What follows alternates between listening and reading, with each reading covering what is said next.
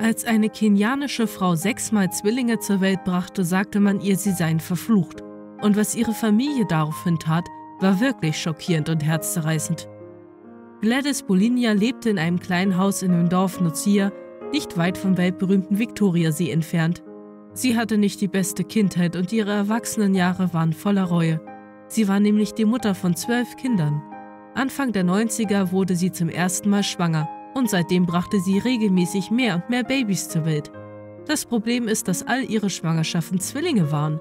Während manche das als Segen oder als Geschenk betrachteten, sahen andere, auch ihre Familie, darin einen Fluch oder etwas, wofür sie sich schämen müsste.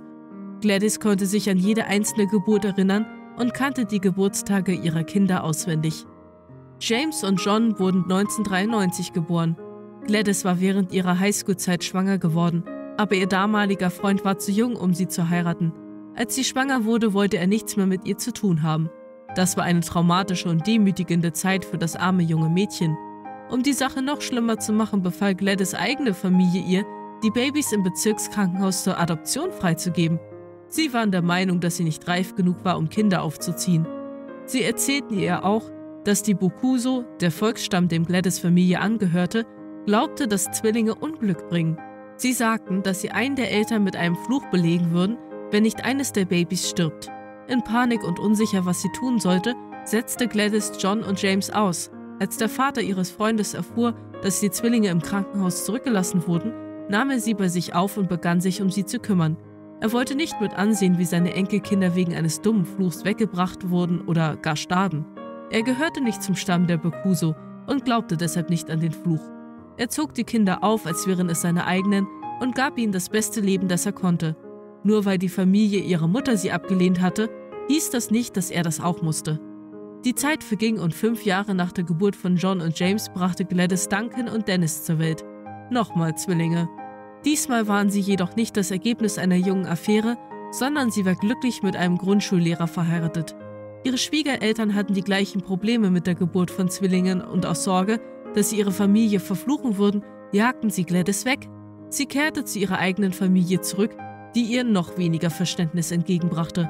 Auch sie hielten diese Zwillinge für einen Fluch und ließen auch sie und ihre Tochter nicht auf das Grundstück. Anstatt sie zu beherbergen und ihr zu helfen, arrangierte Gladys Familie, dass sie mit einem 20 Jahre älteren Mann verheiratet wurde. Dieser stimmte der Heirat zu, weil er glaubte, dass er in seinem Alter keine Braut mehr findet. Außerdem war Gladys relativ jung und immer noch schön, sodass er das Gefühl hatte, mit dieser arrangierten Heirat den Jackpot zu knacken. Natürlich wurde sie kurz nach der Heirat schwanger und 2003 wurden zwei weitere Zwillinge geboren, Mercy und Faith. 2005 kamen Karen und Ivy, bevor 2007 ein letztes Paar geboren wurde, Purpose und Swin. Ihr Mann war am Ende seiner Kräfte. Er hatte versucht, sich der Ehe zu widmen, aber die Geburt all dieser verfluchten Zwillinge forderte ihren Tribut von ihm. Und nicht nur das. Kinder großzuziehen war harte Arbeit und weder seine noch Gladys Familie wollten etwas mit den Kindern zu tun haben. Als Gladys ein paar Jahre später nochmal Zwillinge bekam, Baraka und Prince, verließ er sie schließlich für immer und überließ es ihr, sich um alle zehn Kinder zu kümmern und sie aufzuziehen. Gladys musste nun ihr Bestes geben, um für ihre Kinder zu sorgen. Ohne jegliche Hilfe schuftete sie Tag und Nacht, um gerade genug zu verdienen, um ihre Familie zu ernähren. Sie nahm jeden Gelegenheitsjob an und arbeitete stundenlang und sie kümmerte sich mehr um ihre Kinder, als sie es jemals gedacht hätte, dass sich jemand um sie kümmern könnte. Gladys war es egal, was andere sagten. Sie liebte ihre Zwillinge, ob sie verflucht waren oder nicht. Es gab nichts, was sie nicht für sie tun würde. Als die Kinder etwas älter wurden, begannen die fünf Jahre alten Zwillinge, sich um die jüngeren Kinder zu kümmern. Dadurch wurde Gladys entlastet und die älteren Kinder lernten Verantwortung und wichtige Lebenskompetenzen. Mit elf Jahren begann Duncan eine Ausbildung zum Landwirt während sein Zwillingsbruder schließlich auf ein Internat ging. Um auf ein Internat gehen zu können, musste er jedoch gesponsert werden. Glücklicherweise war Margaret, die Leiterin der St. Eda Academy, bereit, in die Ausbildung des Jungen zu investieren. Sie wusste, dass er in der Schule erstaunlich gut abschneiden würde, wenn er den richtigen Unterricht und die richtige Ausbildung erhält. Sie sorgte sich sehr um ihn, aber auch um seine Mutter. Und deshalb war Margaret die erste, die mit ihr über eine Sterilisation sprach. Gladys hätte nicht stolz auf ihre Kinder sein können. Ja, sie wusste, dass sie eine große und ungewöhnliche Familie hatte, aber sie war stolz auf jeden einzelnen ihrer Sprösslinge, egal wer der Vater war. Sie sah sie alle als Geschenk Gottes an. Gegen den Willen der Kirche, die sie besuchte, ließ sich Gladys schließlich sterilisieren. Sie sagte mehrmals, dass sie katholisch ist. Als sie diese Entscheidung traf, bat sie Gott um Vergebung und war sich sicher, dass er ihre Beweggründe verstand. Obwohl nicht alle Mitglieder der Kirchengemeinde einverstanden waren, wurde Gladys schließlich vergeben und von den Gemeindemitgliedern wieder aufgenommen. Endlich bekam sie den Kopf über Wasser, doch eines Tages geschah etwas sehr Peinliches und Herzzerreißendes, etwas Grausames, Verletzendes, das von ihrer eigenen Familie inszeniert wurde.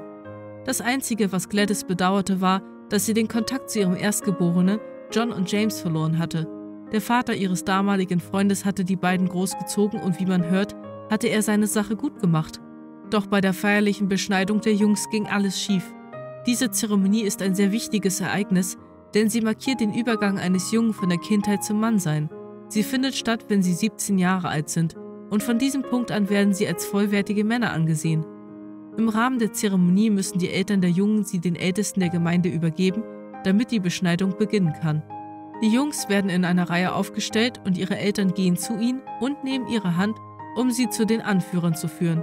Das war der Moment, in dem Gladys die peinlichste Erfahrung ihres Lebens machen musste. Sie war eingeladen teilzunehmen, aber im allerletzten Moment wurde ihr klar, dass sie nicht mehr wusste, wie John oder James aussahen. Als sie die Reihe der Jungs vor ihr abtastete, sahen sie alle wie völlig Fremde aus. Es waren etwa 30 und nicht einer von ihnen fiel Gladys auf.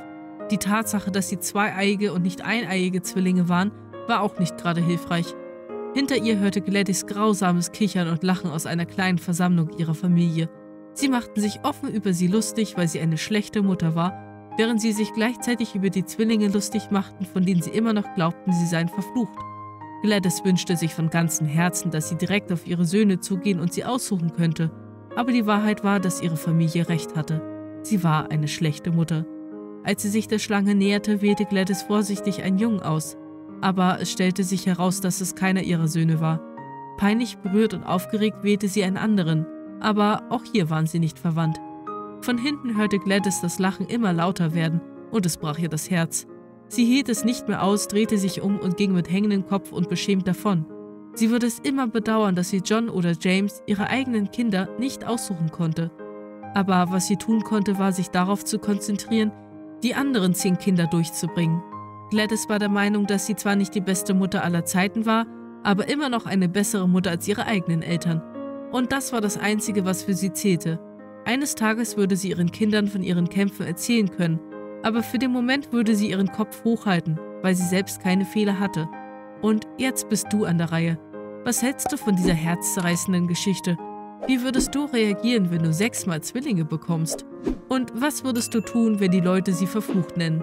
Wie immer freuen wir uns, wenn du uns deine Meinung sagst, also hinterlass uns deine Gedanken und Meinungen unten in den Kommentaren. Bis zum nächsten Mal.